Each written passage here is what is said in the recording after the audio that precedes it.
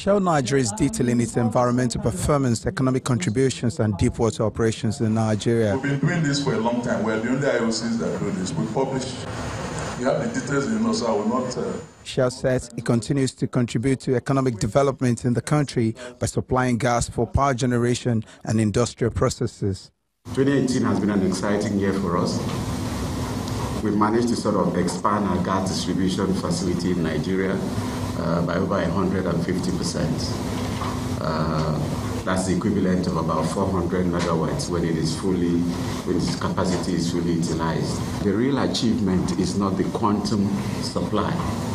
It's the fact that we have been able to supply gas on an uninterruptible basis for over five months. The oil giant says it is making progress in the area of spill prevention. In broad terms, over the previous year, as high as these numbers are, it represents a reduction.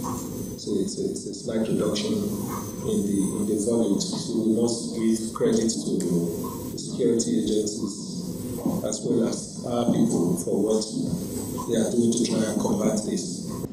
Shell is also giving assurance on its commitment to local content development as part of its contribution to the country's economy.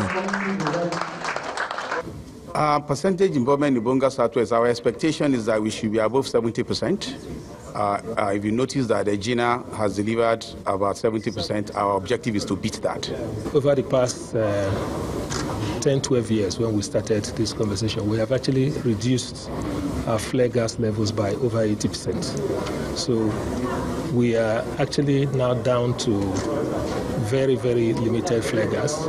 For the year 2019, Shell Nigeria says it is hoping to cement its place as a valued partner of growth by maintaining close collaboration with host communities, tiers of government, and other stakeholders.